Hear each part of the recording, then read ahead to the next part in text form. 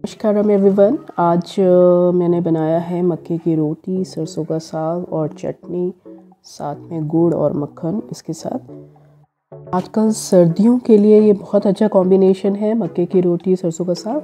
सबसे पहले सरसों का साग उबालने के लिए मैंने एक स्टीम विसल लिया है, ज़्यादा नहीं तो छोटा छोटा काट के उसमें मक्के का आटा थोड़ा मिलाया है और स्टीम लेके और उसके बाद उसे मैं फ्राई कर रही हूँ।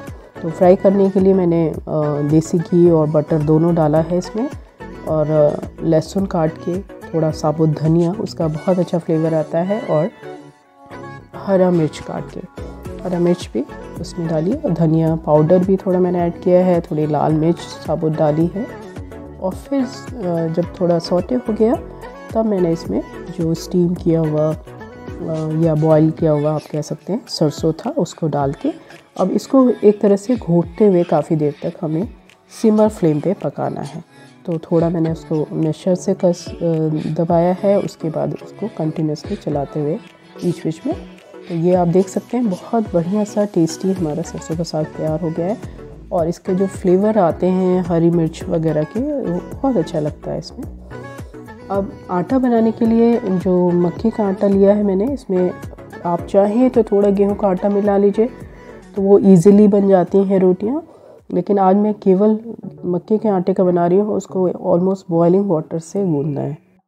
तो जब बॉइलिंग वाटर डालेंगे तो उसको थोड़ी देर चम्मच से चलाते हुए उसके बाद उसे डो बनाना है। इसमें मैंने अजवाइन भी डाली है, क्योंकि थोड़ा ठंडा करता है मक्के का आटा।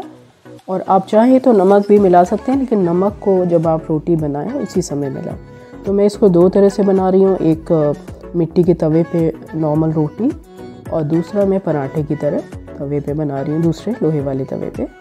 तो उसके लिए मैंने उसमें तेल या घी जो भी आप खाते हो, डाल के बनाई है। बहुत टेस्टी लगता है और ये जो मिट्टी वाला है, मैंने एक साइड चिपका दिया है, जब पक गया है तो उसको मैं दूसरी साइड से गैस से डायरेक्ट जैसे तंदूरी रोटी बनती है, उस तरह से इसको सेक लिया। तो दोनों तरफ़ से बहुत अच्छा सा ये सीख गया है। तो ये हमारी रोटी भी तैयार है, आप चाहें तो आप इस तरह से बना सकते हैं। और पराठा तो वैसे भी टेस्टी लगता ही है, क्योंकि जब भी कोई चीज़ फ्राइड होती है तो और ही अच्छी लगती है।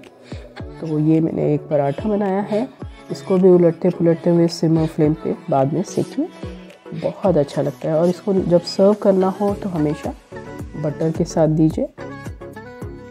और ये देखिए आप पराठा और ये हमारी रोटी, दोनों तैयार है। तो आप चाहें जो भी पसंद हो आपको दोनों तरह से तो ये मेरी पूरी थाली तैयार है।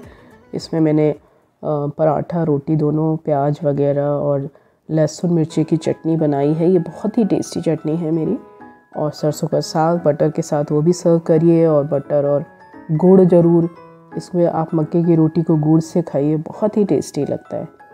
तो ये ओवरऑल एक फुल मील हमारा तैयार है और बहुत ही टेस्टी है। इसको आप लोग एक बार ज़रूर रोटी भी इस तरह से बना के देखिए।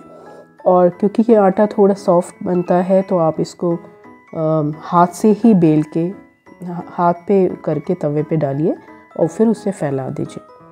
और अगर आपको नहीं समझ आ रहा है नहीं बन रहा है बिल्कुल भी तो आप इसमें गेहूँ का आटा ज़रूर मिलाइए। तो वो ईज़िली आपसे बेलन से बन जाएगा।